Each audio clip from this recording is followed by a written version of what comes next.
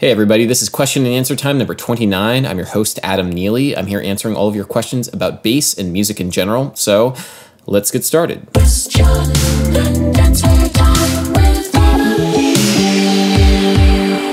Marcus Vinicius Marchiori writes Did you watch the Leonard Bernstein lectures at Harvard by any chance? Yeah, over the course of me running this channel, I've been recommended that lecture series that Leonard Bernstein gave at Harvard. They called it the Norton Lectures. I'm not really quite sure why they're called the Norton Lectures, but they're really awesome. It's basically Leonard Bernstein giving this whole spiel on the history of music and how music came to be through the lens of grammar. He was very influenced by Noam Chomsky and his idea of universal grammar, and the entire entire lecture series is online for free on YouTube. What a wonderful, crazy, brave new world we live in. But I strongly recommend you check that out. And fun fact, actually, hold on, let me see if I can't find it real quick.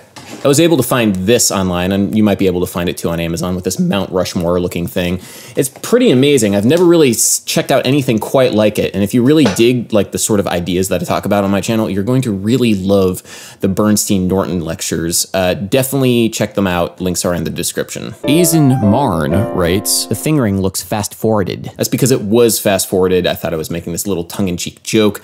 I used image masking so that I made it so that the left side of the screen was playing at normal speed speed and the right side was playing at double speed. That's usually how those kinds of videos are faked with the clocks and everything going. So it makes you believe that, hey, it's done in real time. Unfortunately, a lot of people thought that I was playing it for real, which definitely I wasn't. So sorry about that. Wyatt Rydlewski writes, Hey, loaded series of questions. How do these gigs work? Are you in a consistent slash permanent fixture in these projects you are documenting on these vlogs? If so, what happens when multiple show dates might conflict? If you're not a permanent in these bands, how do they remain consistent with gigs if they need to contract their musicians every time they play?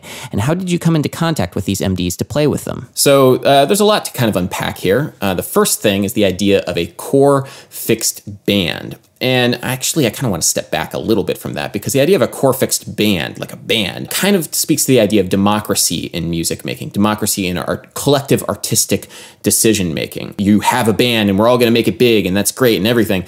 that's not really the case for a working musician. Democracy doesn't quite work. What you want to have is you want to have a band leader that has a very strong idea of what their musical vision is. They're able to work with side people, side men and women, and all funnel it towards one person's vision of what their music should be. Having a band leader is very important. Now, having a band leader means that you might be able to sub out side people. In, you know, like for this particular gig, I want this person. For this particular gig, I want this person. There's some, you know, maybe pros and cons to that. For Hannah Sumner, Hannah Sumner really really likes to work with the same core group of people for every single gig. So there's some, you know, trade-off with that. Having the same group of people is great because we can, you know, play gigs on little to no rehearsal and we know the music really well and we've, you know, been able to really develop a sound. At the same time, if she gets a gig offer and we can't do it, then, you know, hey, we she doesn't want to do the gig because she feels so comfortable with this core group of people. On the other hand, if you're a band leader and if you want to be able to switch people in and out, that gives you a lot more flexibility and that's fantastic. But at the same time, it's a lot harder to get people up to speed, even if they're amazing musicians and might require more rehearsal.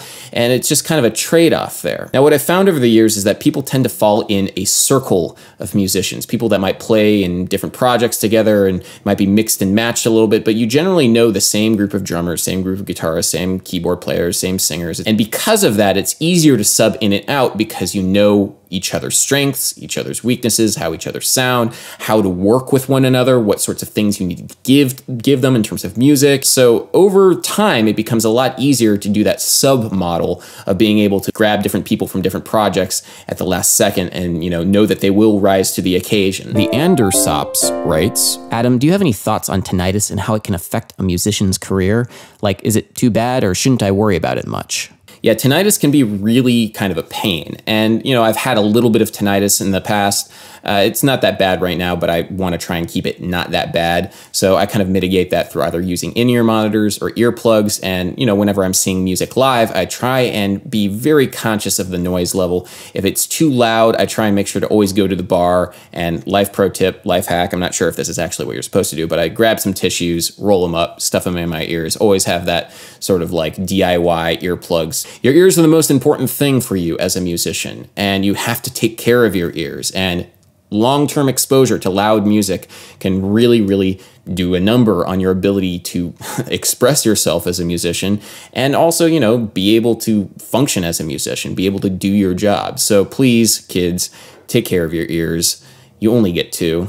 Tyler Abbott writes Do you think it's pretentious to call your music or band technical? One of my favorite genres, technical death metal, is littered with amazing bands and players. Erlend Caspersen, the bassist of Spawn of Possession, anyone? Check him out. But I can't think of any other genres that so blatantly label themselves as technical. Do you think that there's a problem with aspiring to write crazy fusion piece or a polyrhythmic prog epic or what have you for the sake of being able to say it's technical? Yeah, I do think that that whole thing is a little bit pretentious, writing something to see how technical you can make it. And, you know, the term technical and also the term progressive, I feel like are fairly like, my music is more progressive than yours. If you try and write something complex for the sake of it being complex, well, you've already lost because there's more music out there that's more complex. So maybe you should think about using that complexity to convey a particular emotion. And once you start thinking about that idea, using the complexity and using these complicated scales and time signatures and whatever, and nested tuplets, using that to evoke a feeling, then you start you know, creating art. And I can see that a lot of technical death metal or like progressive rock and all that stuff, they use those things. They use the complicated things as a means of creating a sound, as a means of creating a mood or an aesthetic. And that's great. But remember this there's always going to be more complicated music out there. So at a certain point, you're going to need to figure out what kind of art you're going to need to make. You know, there's a style of music called new complexity in contemporary classical music. And yeah, it's basically just absurdly complicated nested tuplets and whatever, blah, blah, blah, and odd time signatures, all that nonsense. And uh, definitely check out the music of Brian Ferneyhough, Ferneyhough, I think is how you pronounce his name.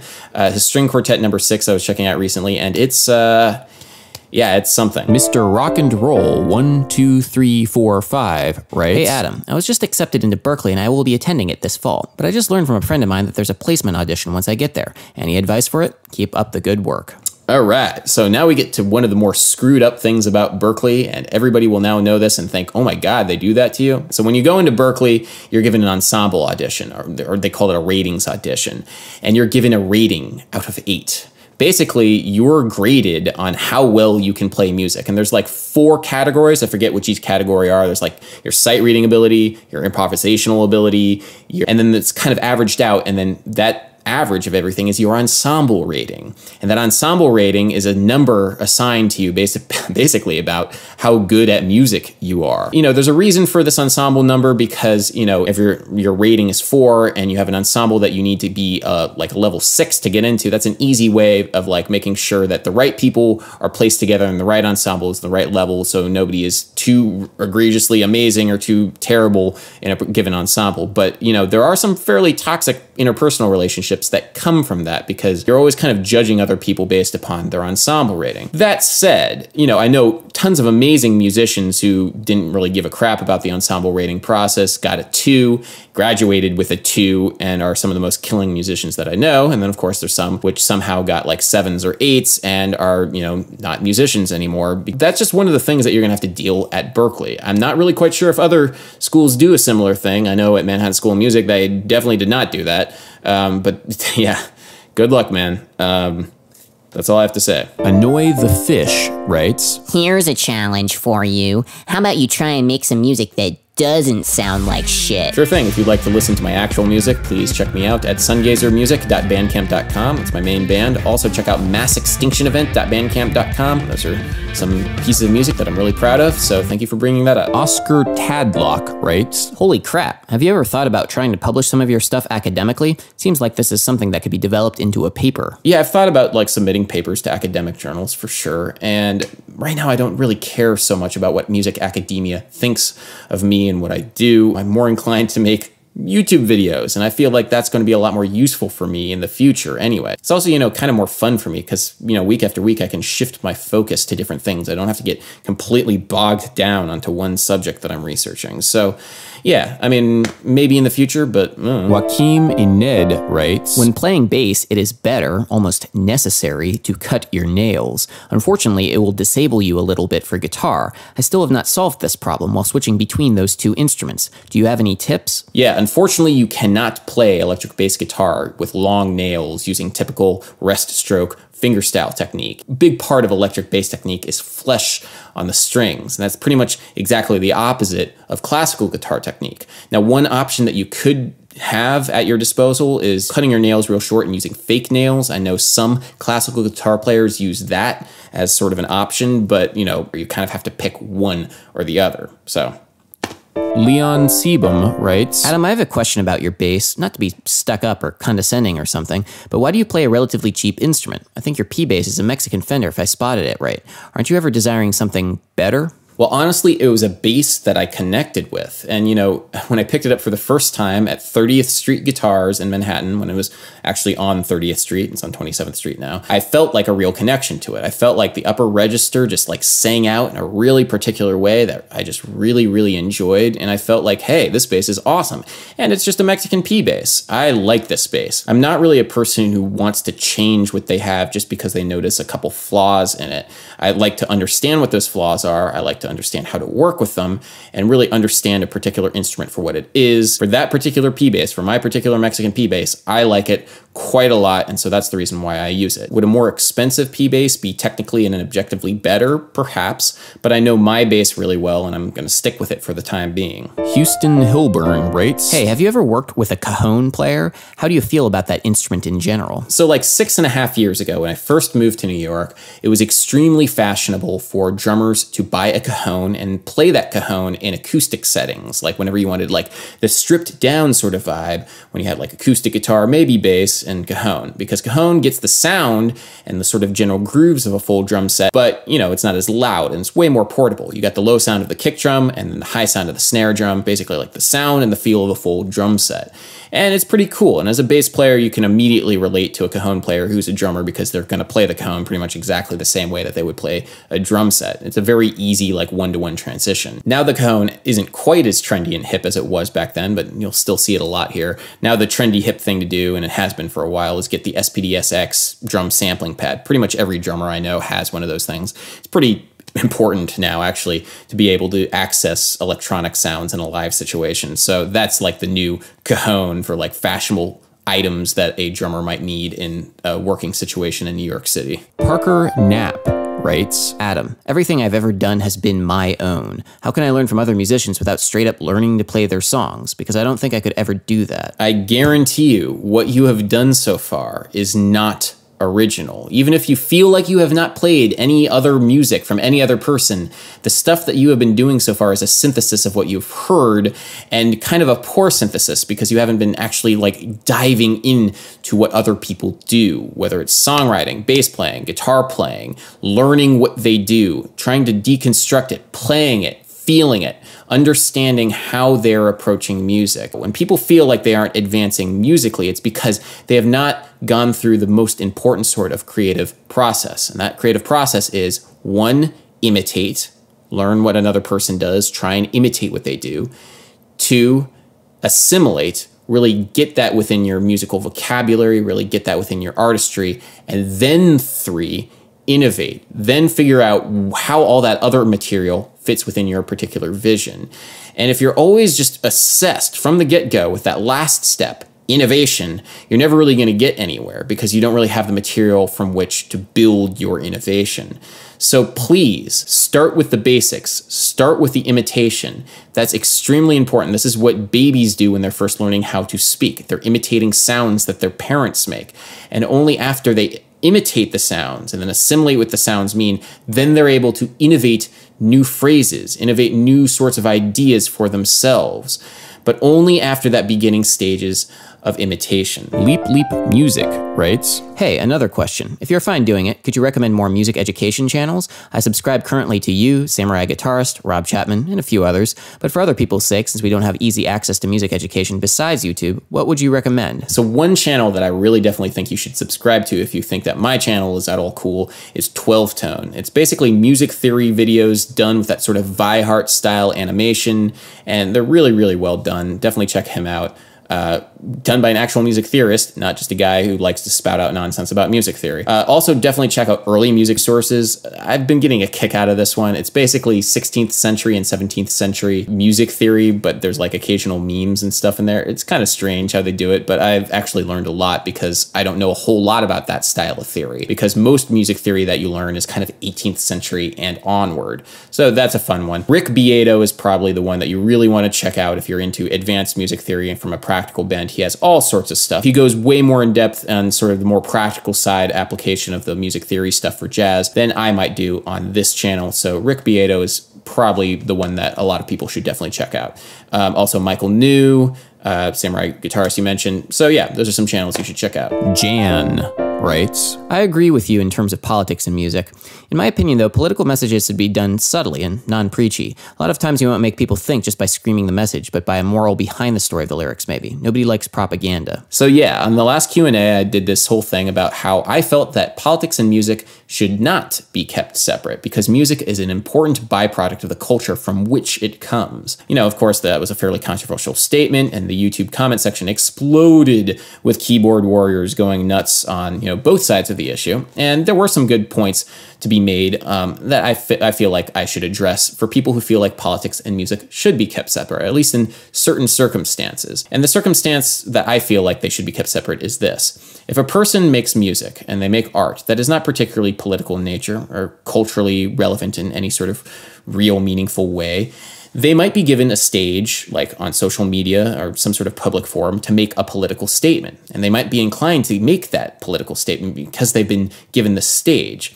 But you know, maybe there's this feeling that that stage hasn't been earned to make a political statement because if they feel like this important big political stage like that they have in the social media that can say whatever they want about some sort of important political issue was so important, why didn't they put in all that energy to really craft a musical message, craft a cultural message into the art that they were making and really letting their statement shine through through that?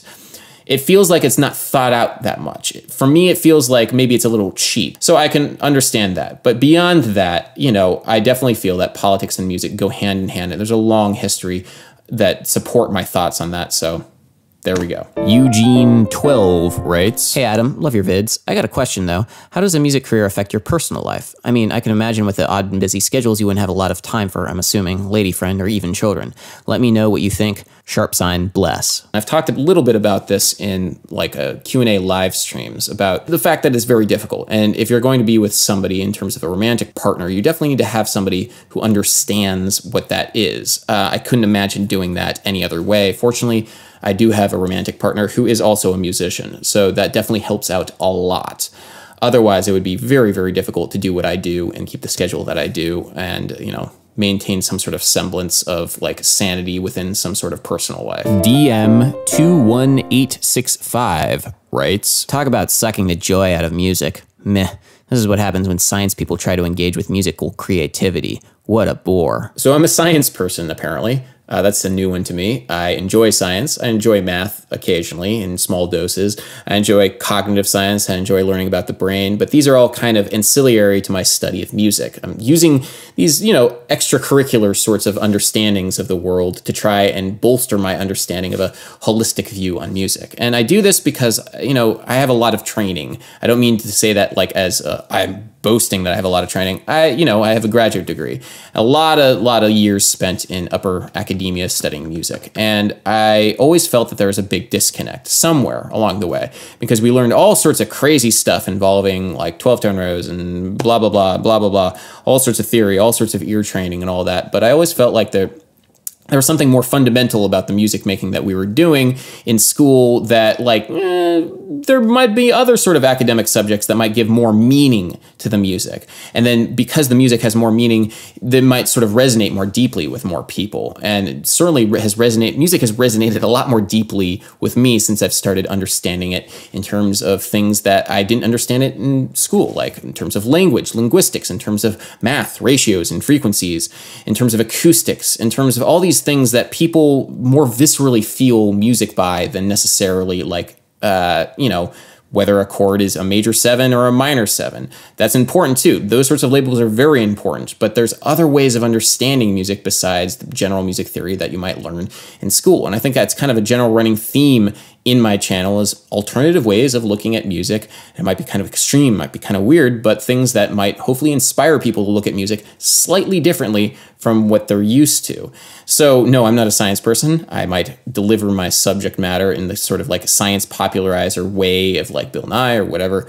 Uh, that's not what I do. I'm a musician first and foremost. That's what my day job is. So I hopefully am not, you know, not inspiring people. Hopefully I'm not sucking the fun out of music for anybody. Hopefully I'm inspiring people to look at music in new and interesting ways. Astro Lincoln writes, Hey Adam, are you strictly a two finger player or do you use three to four occasionally? Strictly two fingers. Anyway, guys, thank you so much for watching Question and Answer Time with Adam Neely, number 29. Question and Answer Time, number 29. If you enjoy what I do here on this channel, please consider commenting, liking, and subscribing. Definitely consider clicking that ring button. I do have a new video coming out every Monday, but occasionally I have different things coming out throughout the week. And one of the reasons why I have additional content coming out throughout the week is because of these lovely folks and fellows and fellowettes down here who have uh, subscribed to my Patreon. It's through their support and their continued uh, generous donations that I'm able to do this week after week and do all the bonus content. So I'm very thankful for everybody who subscribed to my Patreon. So uh, yeah, thank you so much, guys. Um, yeah, and uh, until next time. Peace.